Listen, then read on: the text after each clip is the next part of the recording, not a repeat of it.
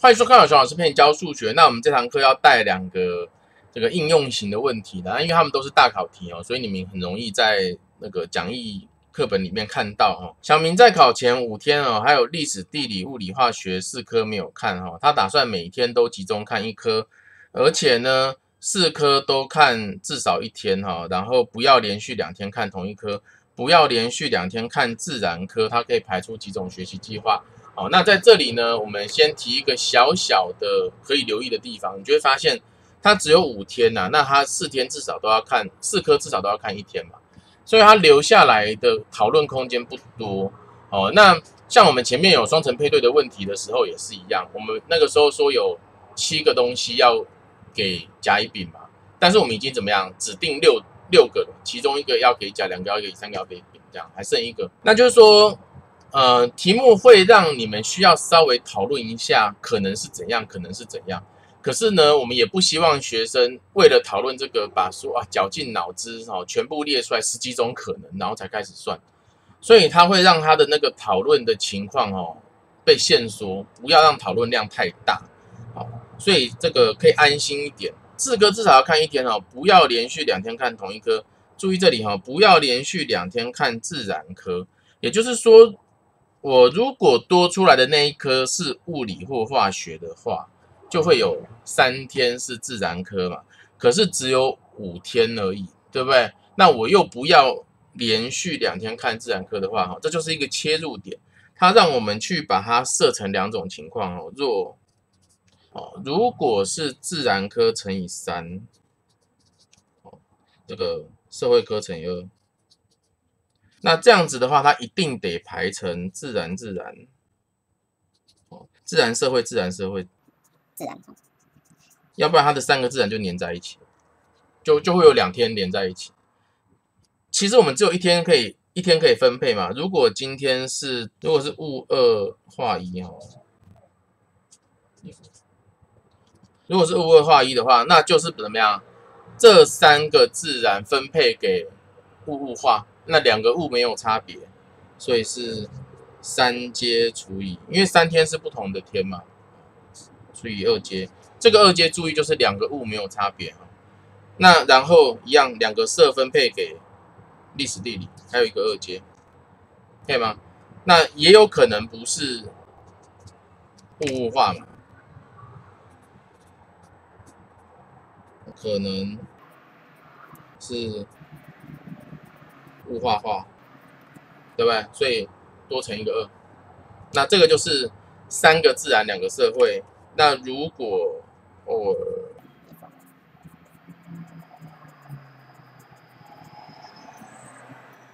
哎，那这样这里的排列的情况就会比较多元。好，我们只要不要连续两天看同一科就可以了哈。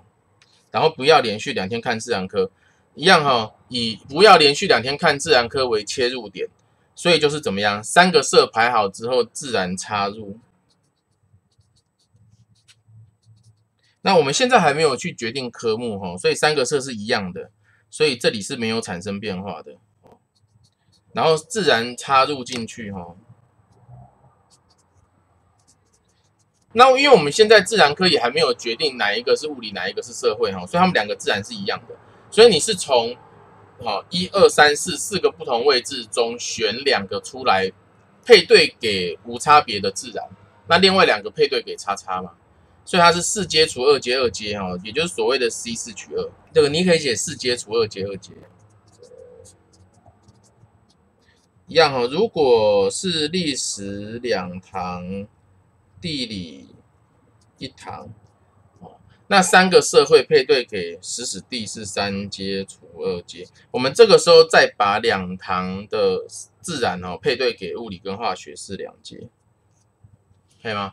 如果你刚才这里已经让物理跟化学分开来挑了，你这里写的是 P 四取二的话，就是四乘三的话，你这个地方就没有两阶了。然后一样哈，可能不是史史地哈，可能是地地史哈，所以是。再乘一个二，这样子，那所以总共有几种呢？十二。我们我们把刚才的这个 C 四取的乘在后面哈，哦，会是十二乘以六哦，所以是七十二，所以合起来是八十四种，可以吗？下面这题，某周三的课哈，上下午各四节，哦，有两堂是数学，两堂是英文哈，历史、地理、国文、物理各一堂。两堂的课要粘在一起上的话，而且两堂的课不能够一堂第四节，一堂第五节。那这样子总共有几种排课方式呢？你们可以想一下。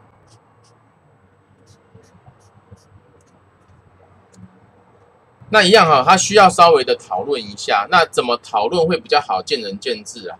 那我个人的话哈，因为他这里有提到说两堂课要连着上嘛，这会成为一个大石头，所以我们用大石头来去帮我们。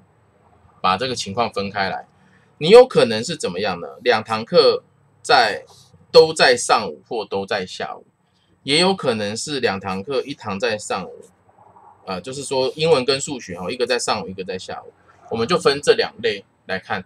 如果英文跟数学是一起的，这样就把四堂占掉了，哇，多轻松！那我们这样子总共会有几种呢？哦，如果英文跟数学都在哦，所以说这个是因素都在上午哈，呃，都在都在一起。因素都在一起。如果我们先设定它都在上午，那上午到底谁英英文先还是数学先？就二节这两个对调而已。后面四堂课给另外四堂配对是四节，那其实也有可能因素在下午。四堂课在前面，那就会有一模一样的情形，所以会再乘以二，这就是因数在一起。如果因数不在一起哦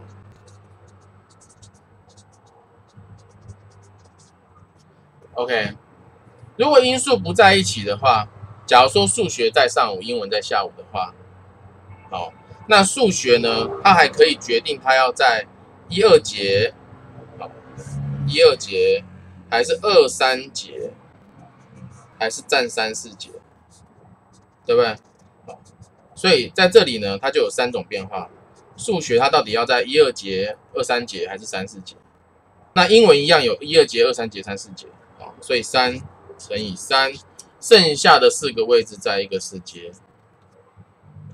那这个是英文上午、数学下午，哎，数学上午、英文下午的情况嘛？所以也有可能颠倒过来哈，数学下午、英文上午，这样，这样我们就讨论完。那当然了，我们有不同的做法啦。我们刚才是说数学一二节、二三节或三四节嘛。那也有人他会去想说，数学跟另外两堂课在这里配对，哦，那也是可以的，也是可以的。那就是看你怎么想。所以这样子的话，这里是二十四乘四是九十六，这个是二十四去乘九十八，哦，不知道。是四三二哈，那再合起来，所以总共有五百二十八种，可以吗？那我们这堂课上到这里，然后我们来看这一题哈。园游会小明雇的摊位要卖一千个糖果，他们打算分成十包，好，把一千个糖果，他没有说每包要一样多哈，一千个糖果分成十包，好。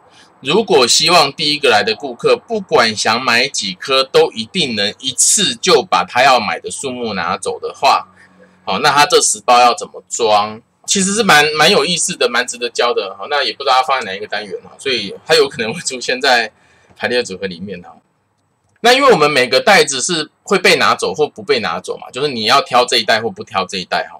那它其实有一个这个二进位的味道啦，就是说你要么就加这个数字，要么就不加这个数字哈。一个二进位的系统呢，它其实是这样子的，就是这个我第一个灯泡哈是一，第二个灯泡表示二，第三个灯泡表示四，第四个灯泡表示八。那如果今天如果今天我这个灯泡哈，这个我有亮的话就写一哈，没有亮就写零。如果我这三个都不亮，这个才亮，这就是一。如果我亮这两，这样子，这个就是二。如果我亮这两个，那就是一加二是三。好，如果我亮零一零零的话，就是四，可以吗？好，那我如果多亮了这一个，没位置写，除掉原本。多量的这个一零零一呢，就是八加一是八加一是九，也就是说我用两个灯泡可以表示零零啊，都不亮是零哈，零零零一，然后那个一零和一一四种，好，从零到三四种，我用四个三个灯泡呢，可以从零都不亮哈，零零零是零到一一一是。四加二加一是七哈，所以我用三个灯泡呢，可以表示零到七八种，就是刚好二的三次。四个灯泡它可以从零表达到这个八加四加二加一是十五哈，总共有十六种，就是二的四次哈。这就是二进位的方式哈，去去描述的。那我刚刚的意思就是说，我们每一个灯泡可能有亮和不亮嘛，有亮和不亮的话呢，你如果让它每一个灯泡刚好都是前一个灯泡的数目的两倍的话。好，我四个灯泡嘛，你可以表示到二的四次。那所以说我们这里有十包哦，那我这十包呢，我只要按照刚才讲的这样的模式哈，第一代放一颗，第二代放两颗，第三代放四颗，第四代放八颗，十六、三十二、六十四、一二八、二五六、五一二哈，我就可以用来表示从零到最后是全拿走的话，是五一二加这个就是全加起来是一零二三啊，它会是一零二四少一嘛。所以它可以表示零到一零二三哈，总共一零二四种数字这样子哦。那诶不相信吗？我们来试一下哈，随便举一个例子，比如说三百三十三，顺便介绍一下我们怎么去这个把一个十进位换成二进位。它其实很简单哈，三百三十三除以二的话，会是这个一百六十六余一，对不对？好，那注意有余一的话，就会在这个地方有一，好，然后一百六十六除以二的话是这个八十三哈，没有余哈，然后八十三除以二的话是四十一余一，四十一除以二二的话是二十余一，二十除以二的话是十没有余，然后十除以二的话是五没有余，好，五除以二的话是二余一，好，二除以二的话是。一没有，好，我们刚才这样子除下来之后，哈，把它从这个一这里开始放，哈，一零一一零零一零一，哈，连最后的这一个除数，啊，都有，这样子都有，好，那我们来看验算一下，哈，所以二五六加六四，这样子是三百二十啊。三百二十加十二加十三，哈，三百三十三没有错。好，那我们就可以用这个方式来去取得所有你在一零二三以内，哈，想要拿到的数目字。那它总共有一千颗糖果嘛？那呃，不过所以因为它只有一千颗糖果，我们最后这一袋是没有办法变成是五一二的。那会是几颗呢？因为在这一代之前总共有五百一十一颗，哈，所以最后这一代是。四百八十九颗，这样可以吗？那么下面这一题哈，这个我们也直接讲哈。一只天平呢，他说它有一三九二七四颗砝码，可以确认几种不同的质量。好，那它其实跟上面这个是呼应的啦，就是说我们的一个袋子呢，有这个有拿跟不拿。那有拿跟不拿是二进位，那一个天平呢，它的砝码哈可以怎么样？可以放，假如说我的这个待测物在左边，哦，那我的砝码呢，可以选择放右边的话就加一，不放的话就加零。但是我也可以选择怎么样，放左边就减一哦。这样子一来，它可以去操作这个三进位的系统。